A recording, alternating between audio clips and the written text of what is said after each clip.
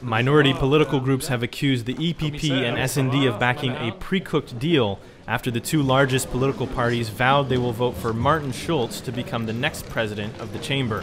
MEPs will elect the parliament's leader in Strasbourg next week at the first plenary session after the May elections. Many of you are aware of the stitch up which has taken place by the leaders of the two biggest groups to guarantee the next presidency of this House to Martin Schulz, while the people of Europe stand on the sidelines and wonder what the European election was actually all about. Schulz, who currently chairs the S&D group, wanted to become Commission President, but his hopes disappeared after his group came second in the European elections earlier in May. After saying he had the ambition to fill in a Commission Vice President post, it now seems that Schulz wants to stay where he was. Had been very not just irritated but annoyed by the way the, uh, uh, the German government, and it was Mrs. Merkel and Mr. Gabriel, had been presenting to the public the, the package deal they were about to do